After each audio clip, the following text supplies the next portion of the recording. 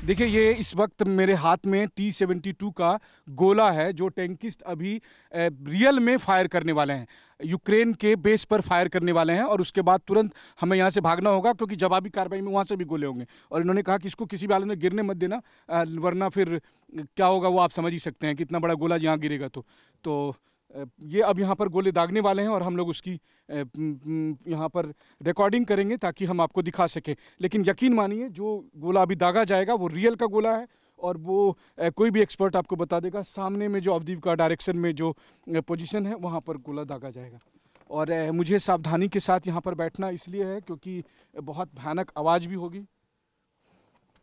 सो अमित आप भी थोड़ा पीछे में ध्यान से रहिएगा। और इस वक्त ये रियल गोला दागने वाले हैं यूक्रेन पर और अवदीपका के डायरेक्शन में जब आप सुनते हैं और इस वक्त आप देखिए, वी नाइन की टीम के सामने आप देखिए, यहाँ पर रियल फाइट होते हुए और ये उसकी तैयारी कर रहे हैं, जहाँ पर ये रियल गोला दागेंगे और टैंक के भीतर अब वो उस गोले को प्लेस कर रहे हैं उस गोले से फायर करने वाले हैं और मैं उसकी आवाज़ सुन रहा हूँ। मैं सच में बताऊँ तो मेरे लिए ये पहला अनुभव है। एक ऐसा अनुभव जहाँ वॉर जोन में मैं खड़ा हूँ और जहाँ पर कि टैंक के गोले दागे जाने, गोले दागे जाने हैं और इसकी भयानक आवाज़ सुनाई देगी, वो मुझे लग रहा है।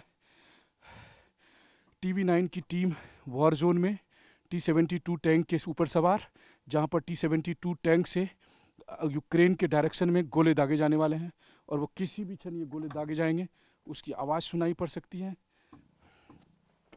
और मैं, ये अपने आप में बहुत डिफ़िकल्ट पोजीशन है। आप सोचिए कि किसी भी क्षण गोली की आवाज़ मुझे सुनाई पड़ सकती है। उन टैंक के भीतर टैंकिस्ट जो बात कर रहे हैं वो मैं सुन पा रहा हूँ।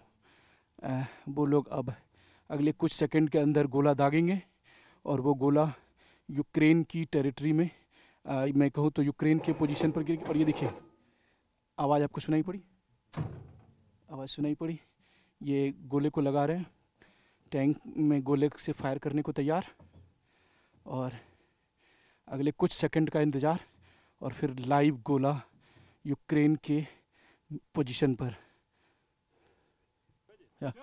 आपने देखा होगा कि हमने अपना हेलमेट बदल लिया है। टैंकिस्ट ने मुझे अपना हेलमेट दिया है ताकि मेरे कान में उतनी धमाके की आवाज़ ना सुनाई पड़े और मुझे इशारा किया गया कि मैं झुक जाऊँ।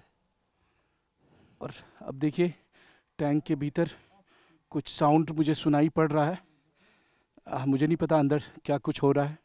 क्योंकि टैंक के अंदर की चीज़ें मुझे नहीं पता है।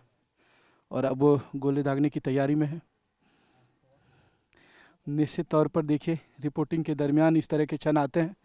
जब आपको भयानक आवाज़ थी, टैंक खिल गया, मेरे लिए बहुत कुछ था। और आप देखिए, रियल गोरे लगे हैं।